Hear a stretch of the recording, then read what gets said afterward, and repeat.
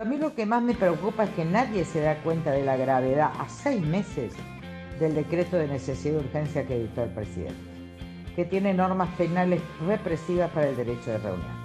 Esto es un estado de sitio de hecho. Salgamos a manifestar nuestra oposición a cualquier intento de atropellar las instituciones fundamentales de la democracia republicana. Hola Juan, ¿cómo está? Y, ¿cómo querés que esté? Con prisión domiciliaria. Un día me fui a la plaza y vino la policía y me sacó. ¿Usted qué dijo? El gueto de Varsovia es esto. Acá, corriendo, al lado del hospital, con gente que está volviéndose loca para salvar gente y ayudando a gente. Nos sentimos como que es una burla, ¿sí? O sea, eh, como que nos dicen, ah, bueno, trabaja 12 horas, 24, trabaja de lunes a lunes, no importa si ves a tu familia. Nosotros salimos, hacemos picnic, eh, salimos a correr, andar en bici, si tenés hijo o no tenés hijo, a mí no me importa. Yo creo que en realidad tenemos que tener más esperanza, ¿no? Nosotros teníamos cinco corredores que se estaban acercando a la meta. La meta es tener una vacuna. Había cinco corredores, dos chinos, dos americanos y había un inglés. Todos estaban corriendo ahí. Bueno, lo que anuncia Putin es que se sumó un sexto. En ese caso vamos a tener más posibilidades de que nuestros 7.800 millones de habitantes de este planeta dispongan de la vacuna. Me anoté como voluntario para, hacer la prueba de, la vacuna del COVID. No, no, te- no soy miedoso así de nada. de- eh, no creo que me, eh, creo que me, después me, me crecen los pechos, ¿viste? Me ponen el- la, la prueba. Como el abuelo. Después la piel violeta. ¿Vos decís en serio que nosotros posibilitamos la vuelta de Cristina, del kirchnerismo? Gómez Centurión, Labaña, posibilitaron que Cristina esté ¿Pero otra qué es vez. para vos la democracia? ¿Eh? ¿Qué es para vos la No, democracia? no, no, está perfecto, la democracia es eso, presentarse. Ajá, ¿y No lo dudo. No, no, no lo dudo eso. Es de facho eso, Eduardo. No, ¿no se arrepiente de no haber apoyado a Macri, la candidatura de Macri? Viendo lo que está pasando ahora. ¿Pero quién es Macri San Martín? no? ¿Qué le pasa cuando leen las noticias que Mauricio Macri está en la Costa Azul jugando al bridge? Bueno, eh, mire, yo soy amigo de Mauricio, le tengo mucho afecto, pero, pero bueno, no, eh, no, no, no, no, no me cae bien. Buenas tardes a todas y a todos, bienvenidos a una nueva edición de Altadata, el lugar donde te enterás todo lo que pasa en un toque. Buenas noticias, Argentina va a producir una vacuna, una vacuna británica realizada en la Universidad de Oxford. Habrá millones de dosis para toda América Latina.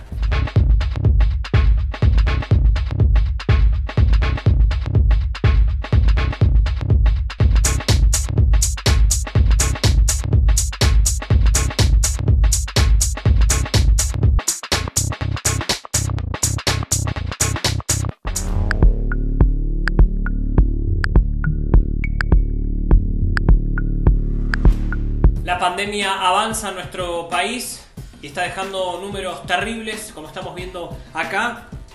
En las últimas 24 horas hubo 304 muertes. Ayer hubo más de 7.000 casos positivos de COVID-19.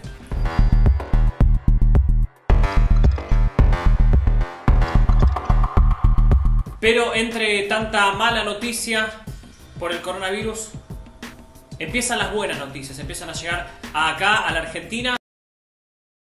El coronavirus será del laboratorio AstraZeneca, que es investigada por equipos científicos de la Universidad Británica. Es el ensayo clínico más avanzado hasta el momento. En julio el presidente se había juntado con directivos de ese laboratorio y había expresado su voluntad de garantizar el acceso rápido a la vacuna. Lo mismo había sucedido cuando el laboratorio Pfizer había anunciado que realizaría pruebas en Argentina. El jefe de Estado había indicado que el objetivo del país es colaborar y tener la posibilidad de contar con dosis en el corto plazo. Ayer el premier ruso Vladimir Putin anunció la fabricación de la vacuna en ese país. Hoy Alberto Fernández le envió una carta felicitándolo. Estamos viendo ahí la misma dice, usted sabe que mi país junto al suyo se encuentran entre aquellos que plantearon en los foros multilaterales y específicamente en el G20 que la lucha contra la pandemia debía regirse por el principio de solidaridad. Nos expresamos en forma similar al subrayar que nuestros gobiernos están a favor del acceso equitativo y no discriminatorio de todos los estados a los medicamentos y a la vacuna. Quien se refirió al desarrollo de las distintas vacunas fue el ministro de Ciencia argentino Roberto Salvareza, que en diálogo con el Destape Radio Dijo que son noticias alentadoras, pero explicó que todavía falta mucho. ¿Qué esperanza podemos tener con el anuncio que hizo Rusia de que registró una vacuna frente al coronavirus?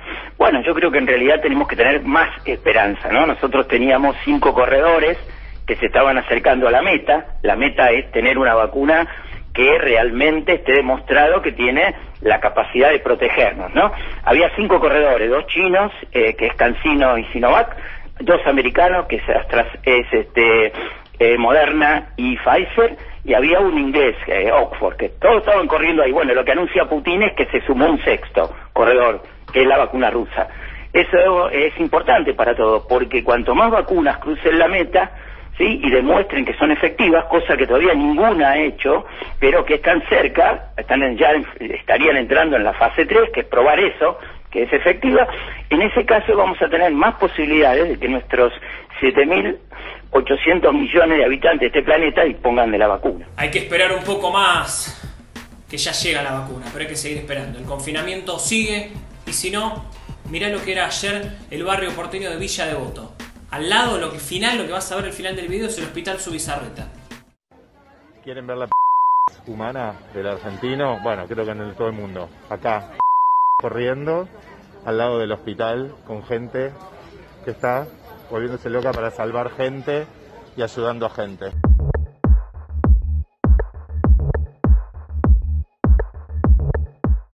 Yo lo vi hoy cuando llegué antes de las 6 de la tarde, había mucha gente eh, en, en la plaza.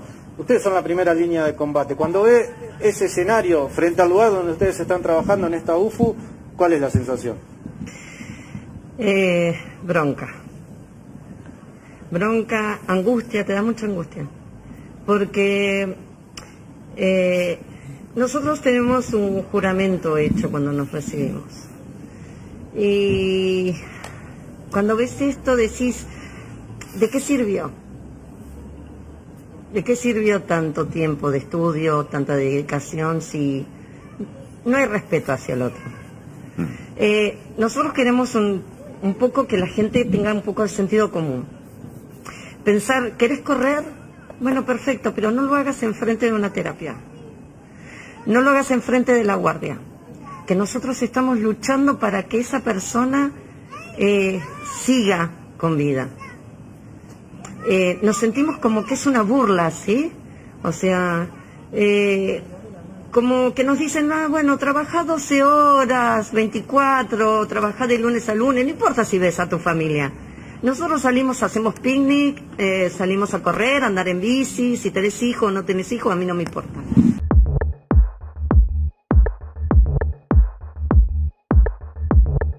Impresiona ver día a día como todos los militantes anticuarentena terminan con coronavirus, por lo menos los que lo hacen públicamente. Es el caso del intelectual macrista Juan José Sebrel también escritor, que militaba contra la cuarentena. Y ahí está, mirá. Esperamos que se recupere pronto igualmente Sebrelli. Acá escuchamos algunas de las cosas que decía hace muy poco este intelectual militando la anticuarentena. Bueno, muy bien. Aquí estamos con Juan José Sebrelli para charlar un rato. Hola Juan, ¿cómo está? Y, ¿cómo querés que esté? Con prisión domiciliaria. Porque ahora salgo, igual salgo a dar un, a- a- qué sé yo, al- a la farmacia, al banco, pero no es lo mismo, no tengo donde sentarme. ¿Usted me, senté- me fui a una plaza, un día me fui a una plaza y vino la policía y me sacó. ¿Usted qué azul. dijo? El gueto de Varsovia es esto.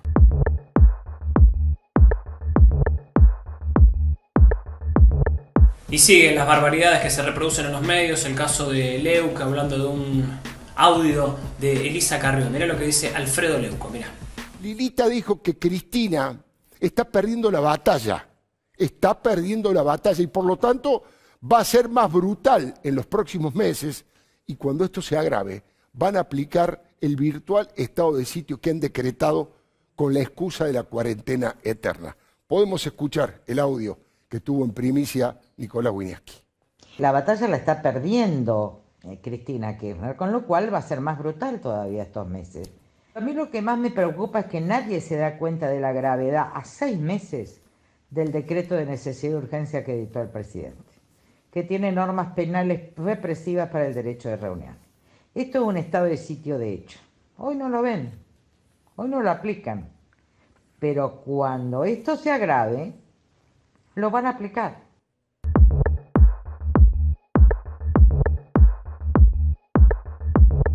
Muchos medios, muchos periodistas, hay un costado que no te muestran, que es el costado más triste de la pandemia, del coronavirus. Acá en Alta Data fuimos a hablar con los familiares del primer enfermero fallecido por COVID y nos dejaron este mensaje. Eh, yo soy la señora Silvio Cufré, el, el primer enfermero fallecido eh, por coronavirus. Él se fue de acá diciéndole a mi nene que, que, que se iba a hacer un chequeo, que volvía y después lo vimos en un cajón. Estábamos esa noche acá, él se empezó a sentir mal, empezó a sentir fiebre, fiebre, fiebre. Se subió a un remis, justo el día ese era el cumpleaños de uno de mis hermanos el otro día, de Gabriel, que cumplía 16 años, y él le dijo a Gabriel, nosotros, que se quede tranquilo, que él eh, iba a hacer unos estudios, unos chequeos para ver qué era lo que tenía. Porque él era una persona de alto riesgo. Tenía diabetes, presión alta. Yo le dije, Silvio, le digo, ¿por qué no te quedás un tiempo hasta que pase? Me dijo, no, pues yo tengo que seguir mi profesión, yo tengo que seguir, me dijo, más que, más que ahora, más que nunca, la gente me necesita, dijo, yo tengo que ir a trabajar. Se fue en un remis esa noche y lo, lamentablemente lo tuvimos que ver a la semana, semana y días en un cajón, 5 minutos, 10 y con todo el protocolo que requiere, barbijo, guante y manteniendo la distancia del cajón. ¿no? Que como en estos casos eh, ellos están aislados, están- no, no, no, no podíamos ir nosotros a verlo, que más quisiéramos ir a verlo, pero no se podía. porque- Bueno, no puede acercarte ni nada por el estilo porque están siempre solos, aislados, sin, sin ningún familiar, amigo ni nada por el estilo, solo en un cuarto. no es una gripe así nomás, es, eh, te, te- te mata, te lleva, te, te mata, y encima lo triste que morís solo. Nuestro hijo lo dejó una gran enseñanza, lamentablemente el virus llegó a nuestro país, existe y bueno, es algo que si no te cuidas te agarra y lamentablemente es cuestión de vida o muerte, ¿no? Para nosotros no es uno más, Para los- a mí se me fue la pareja de 21 años que convivió conmigo y aparte el, el- el padre de los chicos. Que, que, eh, que sea esencial y pueda salir a trabajar, bueno, que lo haga pero con todas las medidas de bioseguridad, ¿no? Que te quedes en casa y bueno, que mi papá se fue y que respete la cuarentena.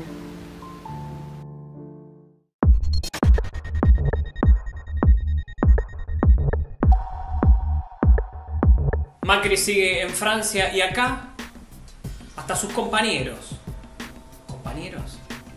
Qué palabra. ¿eh? Hasta sus colegas, hasta las personas que integran su partido salen a criticarlo. El caso de Gerardo Morales. ¿Qué le pasa cuando leen las noticias que Mauricio Macri está en la Costa Azul jugando al bridge?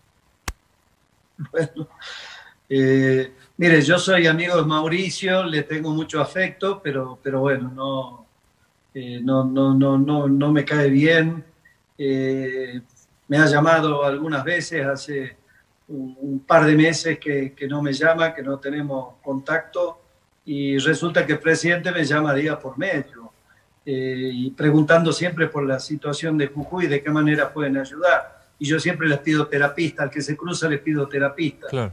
Eh, Claro. pero, pero bueno, esto no, no, no quiero abrir juicios, pero la verdad que no, no, no, no me cae bien.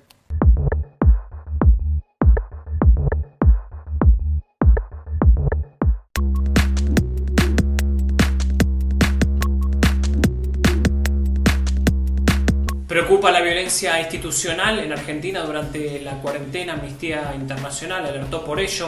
Este informe que te cuenta María Miranda. Esta semana, Amnistía Internacional publicó un informe en el que se registran más de 30 casos de violencia institucional y gatillo fácil por parte de fuerzas de seguridad federales como provinciales. En el informe, el organismo lo que advierte es que desde el 20 de marzo, que se decretó el aislamiento social preventivo y obligatorio por la pandemia de coronavirus, a la fecha, se registran detenciones que no se adecúan al, decreto, sino que más bien hablan de situaciones de abuso de poder y de violencia por parte de la policía.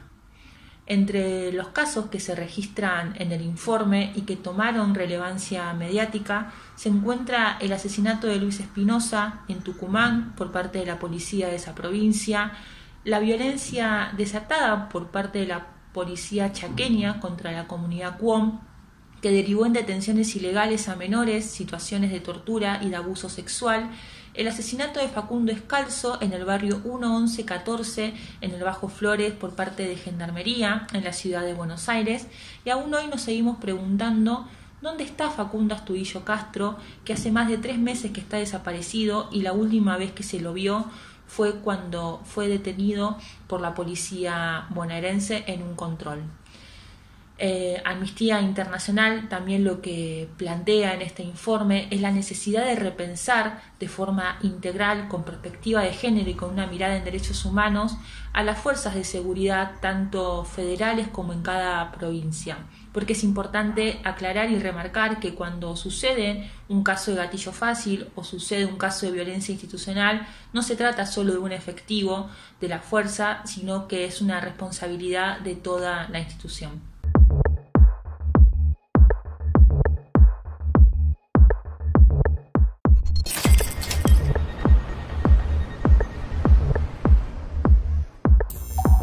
¿Cuáles son los efectos de la pandemia en la economía argentina? Mirá este informe de la UCA, del Observatorio Social, preocupante. ¿eh? El coronavirus generó un millón de nuevos desocupados. Como consecuencia de la pandemia, se estima que hubo un aumento de la desocupación en todo el país, así lo cree el Observatorio de Deuda Social Argentina de la UCA, que en un informe sostuvo que la tasa de desocupación al 15% asciende en el segundo trimestre de 2020.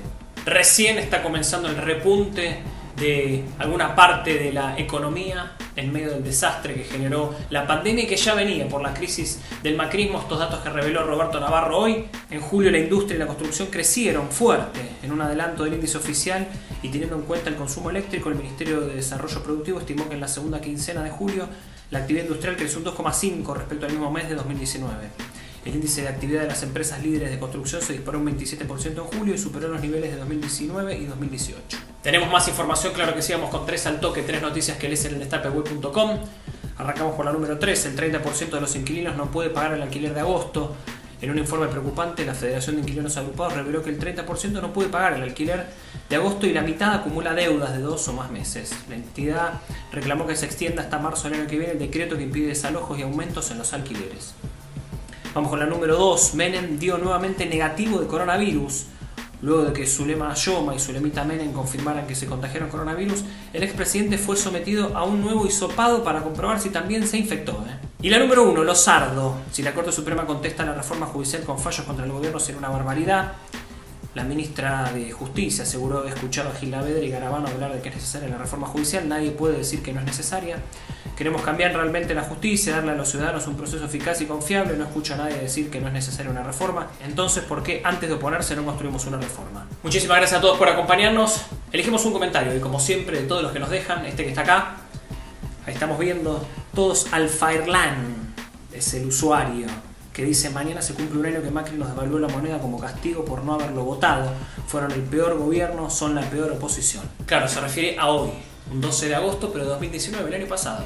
¿Te acuerdas esa conferencia de prensa? Macri, Pichetto, que Macri nos echó la culpa por la devaluación que hubo, porque él perdió, perdió las elecciones, las PASO en su momento, fue el principio de la debacle. Luego perdió la reelección Mauricio Macri, le mandamos de acá un saludo, lo debe estar viendo. Muchísimas gracias a todos por acompañarnos. Nosotros nos vemos mañana, como siempre, a partir de las 18.30 en esto que se llama Alta Data. Y si ustedes me dejan, voy a hacer algo más. Voy a tener el mismo orgullo que todos ustedes. Perdón por los ruidos del micrófono. Orgullo de ser parte de la UBA. Orgullo de ser parte de la universidad pública. Orgullo de seguir siendo solidario, orgulloso de mis colegas profesores, orgulloso de cada uno de mis alumnos, orgulloso. El año que viene vamos a celebrar 200 años de nuestra querida Universidad de Buenos Aires. Y vamos a poner en el mientras tanto todo el empeño para que los argentinos y las argentinas que se están educando tengan una mejor educación, tengan mejores instalaciones como las que hoy estamos poniendo en marcha en la Facultad de Odontología, porque de ese modo vamos a estar invirtiendo en nuestro futuro. Nunca nos olvidemos, las sociedades del presente son ricas por el desarrollo de la educación, del conocimiento, de la inteligencia, de la ciencia y de la tecnología. Todo lo que invirtamos en eso nos va a hacer muy ricos. Clarín ya fue, TN ya fue, La Nación también. Apoyemos a los medios que resistieron estos cuatro años de Macri. Dale like al video, además déjanos un comentario, así este programa le llega a todo el mundo.